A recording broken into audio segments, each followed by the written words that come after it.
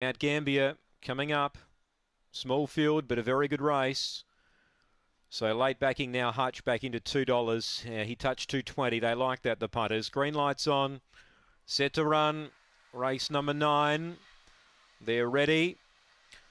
And away, Hutch jumped pretty well. He jumped better than One Shy Express. Swift Limes will lead. Hutch gets through to second, about a length and a half away. One Shy Express a length and a half away, third. Fourth, the outside, Usain Insane and Lone Star last. Here goes Hutch now. He's three wide and he's pouring it on. Races to the lead down the back from Swift Limes. Running to third, Usain Insane. Then came One Shy Express and Lone Star, but Hutch takes off. He led by five. Running on One Shy Express. Wide out Usain Insane, but Hutch too good for these. One Shy Express second.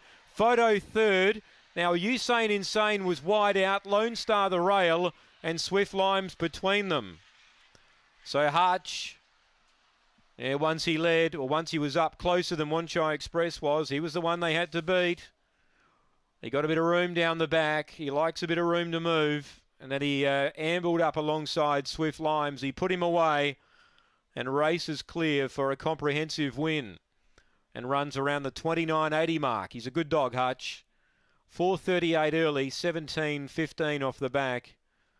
It'll be one first, Photo the Miners. And it's uh, resting between the two One Shy Express, who was a bit tardy away today. Did its best work late. And in that photo there, two does get second, take note. And third placing going the way of four, Usain Insane. So one, two, and four take note. One, two, and four.